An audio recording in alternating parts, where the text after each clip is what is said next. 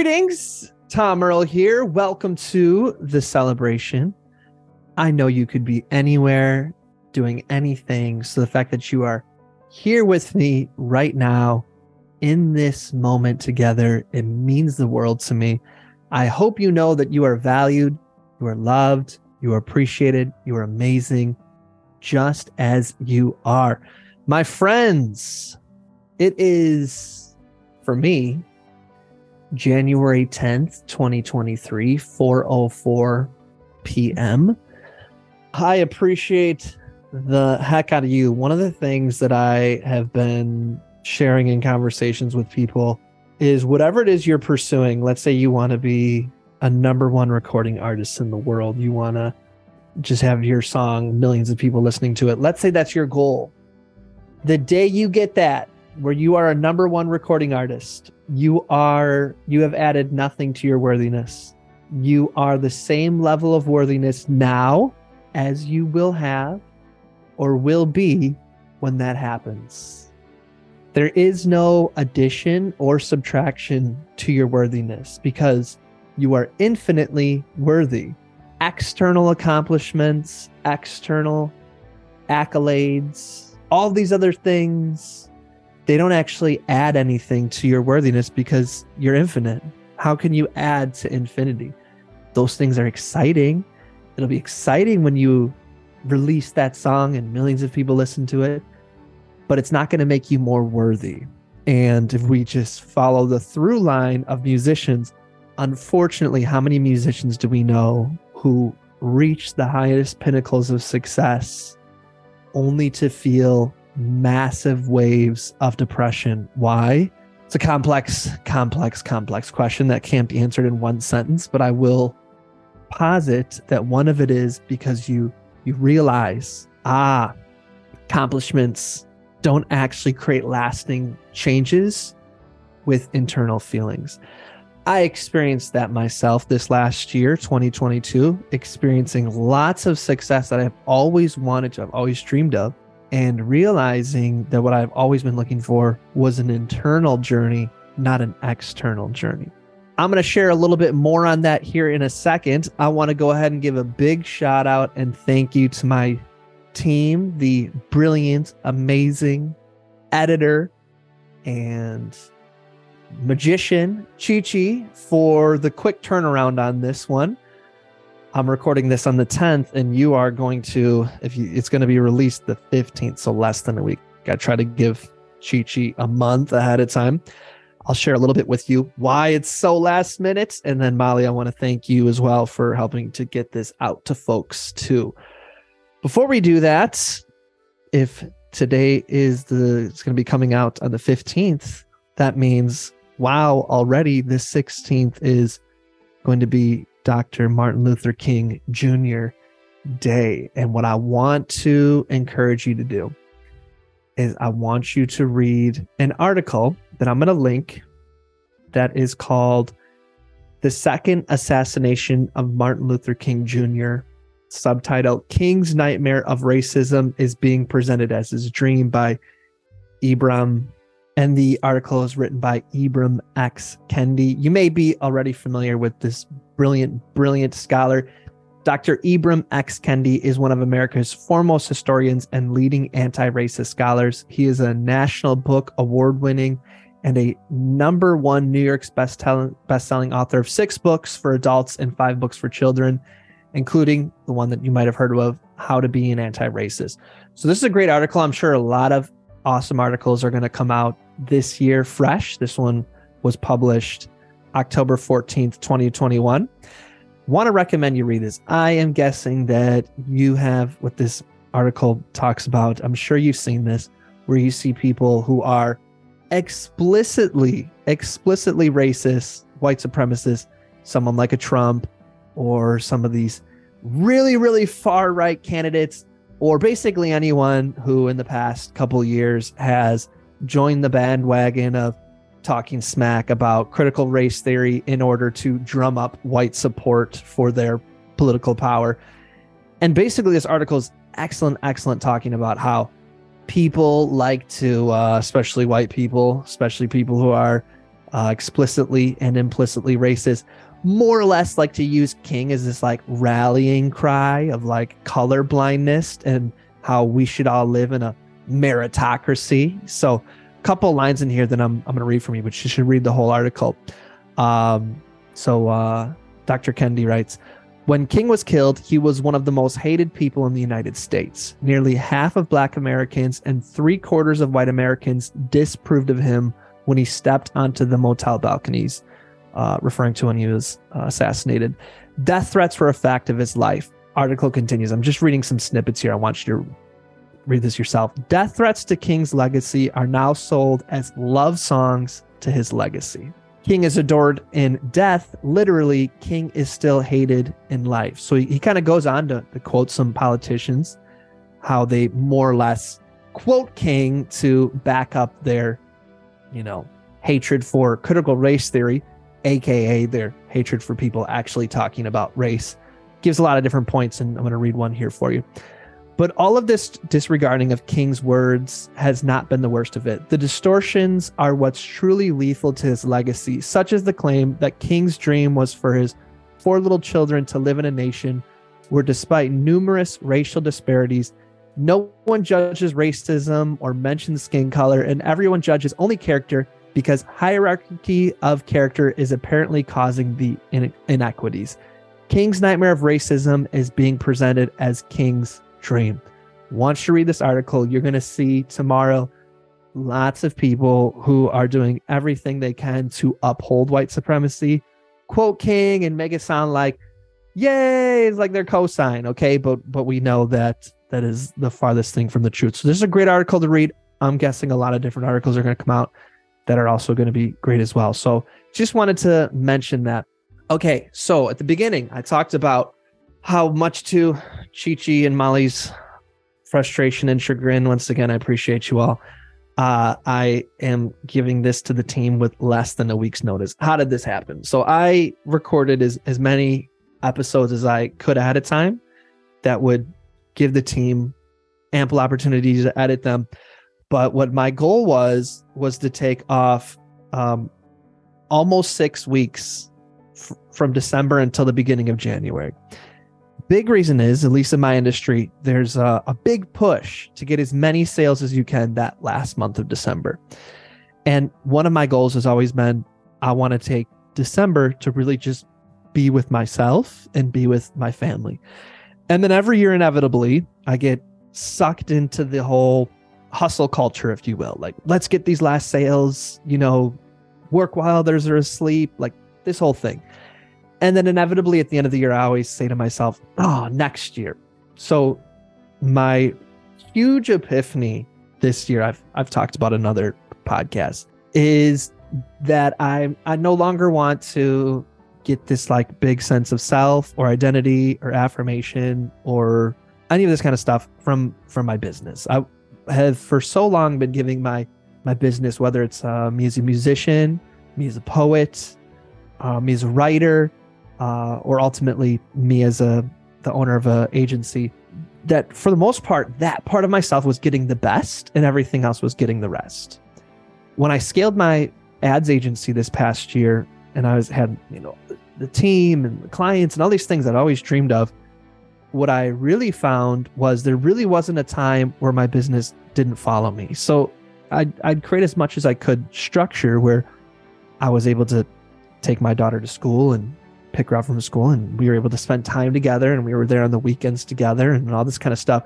But i wasn't actually there. I was there in body but i wasn't there in mind. I was i was really just thinking okay i can't wait till everybody goes to bed so i can have some quiet time and get back to work. Or um, i'd be there on the weekend but i'd really just be thinking of, of this fire or this angry client that i was going to have to talk to on on monday. And i just really decided that i hated it. It just it really wasn't worth it. That for me my goal is to give myself and then those I love, my relationships, my best, and everything else gets the rest. That's been my goal. So I took these past six months or six weeks. I didn't check my email or do any kind of work at all. And it was glorious. It was glorious. For one, I found that, well, first of all, we, we just had a house full of people for extended periods of time. And normally, what would have happened is I would have just been very frustrated that I didn't have a space to do work and have meetings. Um, and instead, what I was able to do was just like cook and be there for, you know, have make dinner for everybody and try to spend one on one time with each member of the family who was in town and run errands and just really go all in on trying to create magical experiences for the family. And then when everybody else, you know, let's say it was like a Wednesday afternoon and everybody else is at work or doing something, then I'd take that time for myself. I'd sleep. I'd uh, read a book. I'd, I'd go on a hike. And what I found is that I was just nourished when everybody would get home from work or, um, or the weekend would come and it'd be Christmas.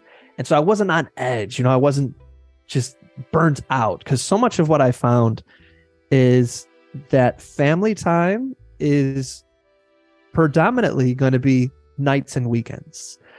Now, if you're if you're single or if you're married but you don't have kids or um, if it's more or less just you or maybe one other person relying upon you, usually this is at least for me the way life was structured was that I'd, I'd go go go go go and then nights and like most of the weekends if I didn't if work didn't bleed in that's when I'd rest. But especially when you have uh, kids or you start to want to invest in your friendships even even if you don't have family if you want to start to invest in any kind of relationships for the most part that relationship building is going to happen on nights and weekends. So in other words like when you've kind of conditioned when we've been conditioned of like work work work and then rest either rest or relationships are going to have to be sacrificed. And and both are just absolutely essential to life. So i've been trying to structure that rest life me my own relationship with myself and my relationship with others. I really want that to get the priority. And when i do that then i'm finding that what you really need to do is instead of working your face off that you actually need to just not work and just rest so that you have the time for relationships. So that's what I've been doing. I obviously want to acknowledge the the privilege that comes from having that choice. There's a lot of people who don't have that choice, who have to work three, four, five jobs just to put food on the table.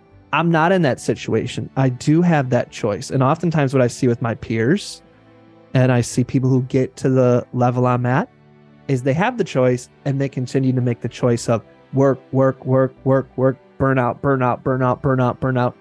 And I'm trying to make this conscious choice of of leaving that. So that that's been on my mind. And I came across this well anyways that's the whole reason i'm putting out this episode late is i started work again getting back into things monday. Chichi i saw your text. Can you get me this asap so here we are that's why I apologize, everyone. But I, I thought that, you know, that might be interesting to you. Okay. So that's kind of been in the back of my mind. Right. And then I see this article in the New York Times uh, that is titled Noma, rated the world's best restaurant, is closing its doors. Now, I know nothing about fancy fine dining. Um, what's it called? Restaurant tourism.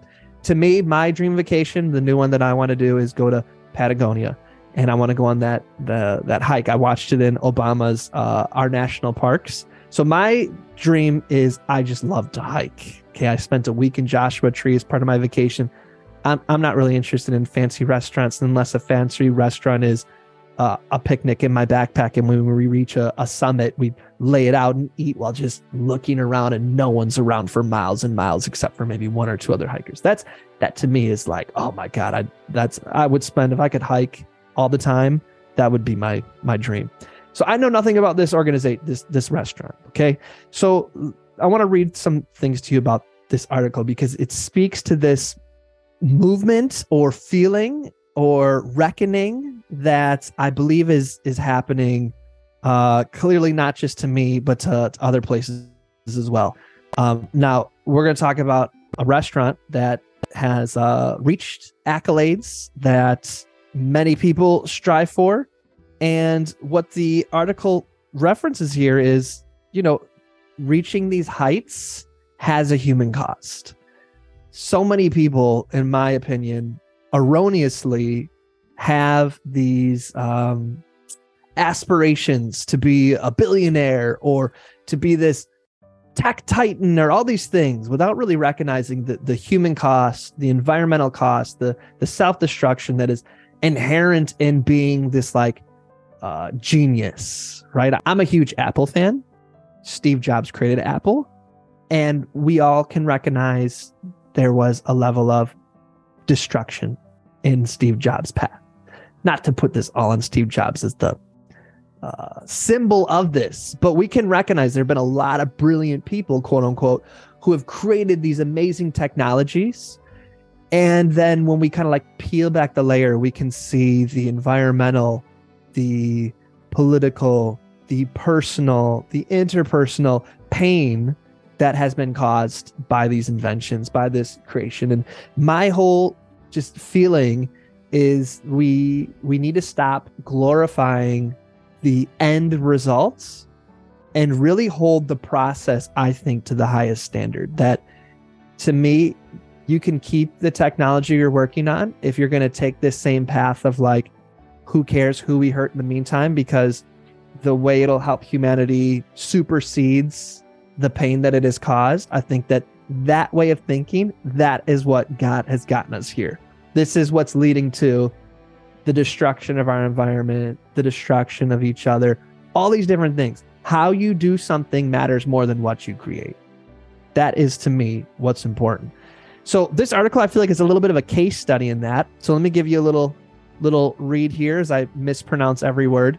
Noma has repeatedly topped lists of the world's best restaurants, and its creator Rene Redzepi has been hailed as his era's most brilliant and influential chef. I'm reading directly from the article. Nevertheless, Mr. Redzepi told the New York Times the restaurant will close for regular service at the end of 2024. The article explains for those of us who have no idea what this means. The move is likely to send shockwaves through the culinary world. To put it in soccer terms, imagine the Manchester United decided to close Old Trafford Stadium to fans though the team would continue to play. Okay, so imagine, I don't know, some insert your favorite baseball team, the Milwaukee Brewers, where they're like, you can't watch us anymore, but we're still going to play. The decision comes as Noma and many other elite restaurants are facing scrutiny of their treatment of the workers, many of them paid poorly or not at all, who produce and serve theirs these exquisite dishes. The style of fine dining that Noma helped create and promote around the globe, wildly innovative, labor intensive, and vastly expensive, may be undergoing a sustainability crisis. So basically, what this article talks about is this style of dining that is just like super innovative, amazing, like people travel all the world to come to. They're basically having this reckoning that it is so labor intensive, it is so expensive that it is almost impossible to do and to make money, so to keep the doors open without in some way having some form of exploitation. Okay. And and anti-sustainability. So they interview this other chef. The chef's name is David Kinch, who last week closed his three Michelin starred restaurant, Manresa, in Los Gatos, California. So he said, fine dining is at a crossroads and there have to be huge changes. The whole industry realizes that but they do not know how it's going to come out. The Finnish chef, Kim Mikkola, who worked at Noma for four years, said that fine dining, like diamonds, ballet, and other elitist pursuits, often has abuse built into it. He says everything Luxiturian is built on somebody's back. Somebody has to pay. This article, if you have the chance to read it, I think it's a huge kind of case study in this reckoning that I personally experienced in my own life and that if I think in a lot of us is like this heroicism or striving after to imitate some of these um, success stories that we hear that seem when we look at it like oh my gosh that'd be so cool to do that. And we're almost like copying and pasting trying to strive after achieving these acolytes or success uh, or accolades or success that, that we're seeing. And and what i'm trying to share with you from the folks I've gotten to interact with, stories I'm hearing, that it's not working. Okay, these this the striving after success at all cost is is having this reckoning. And and I've been hearing these conversations, I've been experiencing myself, I've been seeing it, and I read this article and it's happening in this fine dining experience. I want to encourage you to read this and then I want to th- want you to think through in your own life potentially where this is playing out, where this desire to often um, fill a hole through uh, external rewards, external validations, external success, it it doesn't fill the hole. It continues to create it. It buries it deeper. And while a lot of these systems seem really great, um, seems like it'd be really awesome to be the the number one in this category. The the lesson learned we can take from people who came before us is that it's not great, that it's highly stressful, and the kind of stress that's that's corrosive to personal relationships and to the body. So as you start this year, I'd like to invite you to just kind of reflect where maybe in our life is there a striving after that's potentially coming from a place of, of pain or potentially coming from a place of wanting to fill a hole or wanting to prove ourselves to somebody or wanting to prove somebody wrong or um, hoping that once I do this, then I'll be significant. Then people will know my name. Then I'll be this. Then I'll, and, and you know those kind of things when you when it's pursued with that uh, that hurt or that trauma or that that lack or that scarcity or that fear when we do that that the place we end up at is really only a more indebted a more uh, sunken into place of the emotions that started the journey. Starting the journey from a place of i feel not loved so if i can become the best the number one the undisputed champion in whatever your goal is. Once I get there, then people will do the opposite of what they've been doing to me, or I'll feel the opposite of what I feel. Then finally, once I get there, then it'll be all good. That when we do that, instead of arriving at the pinnacle and you feel better, you actually have only magnified the negative feelings that you started with. Because to get there, so many quote unquote sacrifices, so many quote unquote uh, neglects, uh, so many um, regrets, burned bridges, all these things that are rationalized as well. It's all a part of it because once I get there, you'll all see. And then we get there and we see emotionally it wasn't worth it because we don't actually feel any happier.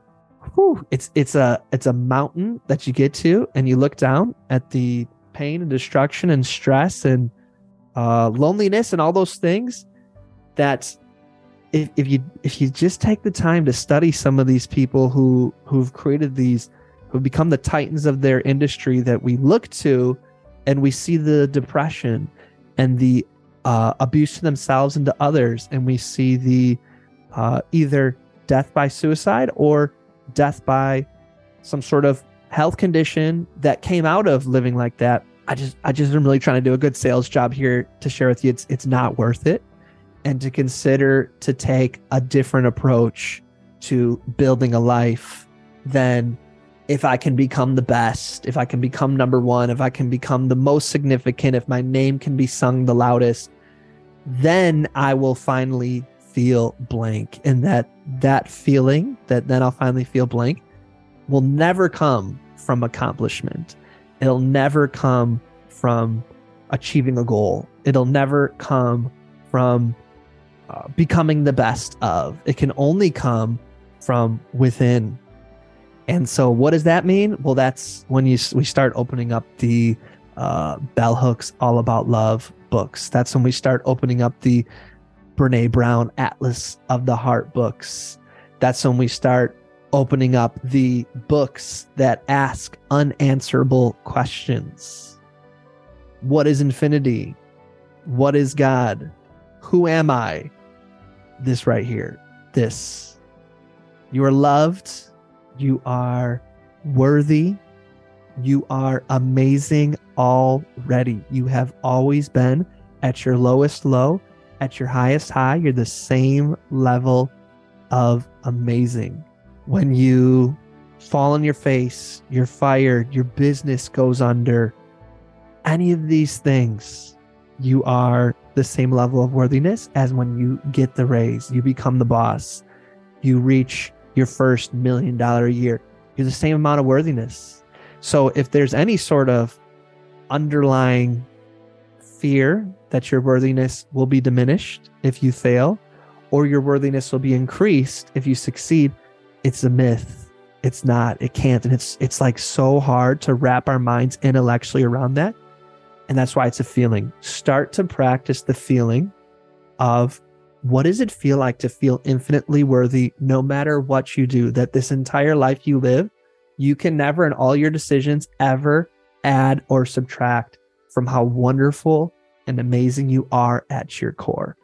This doesn't absolve us from responsibility or accountability. This doesn't absolve us from trying to spread love. But what it says is while you're doing all of that stuff, you are the same level of worthiness because you are infinite. Reflect upon that and then sit down, listen to some nice music, and just practice what that feels like. And then from that place where you feel no lack, you feel just pure wholeness, then start to think, well, well, what do I want my next steps to be? What, what is something that I want to build in this life from this understanding? All right, my friends, I'm going to wrap up here. I want to encourage you to go to HBO Max and watch the live concert of Lizzo's that you can now stream. It's uh it's a gift. It's a gift. Watch that. So that is my invitation to you, my friends. Check out that concert. I think it's a gift. And I have one question for you. If anyone knows the answer to this question, I've been trying to research it and I can't find a consistent answer. How do you pick up a snail? It's been raining out here. If you see a snail, I have heard that you're not supposed to just pick it right up because it can hurt it. I've heard things like you should put try to get it to go on your finger. I've been into some uh, Reddit threads and there doesn't seem to be a consensus. So if you have an answer for me, how do you pick up a snail, y'all? I'd love to hear that. Let me know. All social medias at Tom Earl Artist, tom at tomearl.com. And we would be honored if you would like to join our Direct Connect experience community. Our mission is to boldly tell our stories and then to use the tools that we have to get them directly in front of the people who need to hear them most. If that interests you, if you'd like to learn how to think like a marketer and combine that with the power of storytelling, we'd be honored to have you. You can learn more information about that, tomearl.me slash DCM invite, or you're going to find the link below. We have a, this was a fun one. Glad to share this with you. Thanks again, Chichi and Molly, for the quick edit on this. I appreciate y'all. As always, I'm wishing you peace and blessings. Thank you. Oh, oh, one, one more thing. I'd love to continue the conversation. Feel free to join me at tomearl.com slash join. Subscribe below or let's connect on social media. Tom Earl Artist. Thanks again for watching.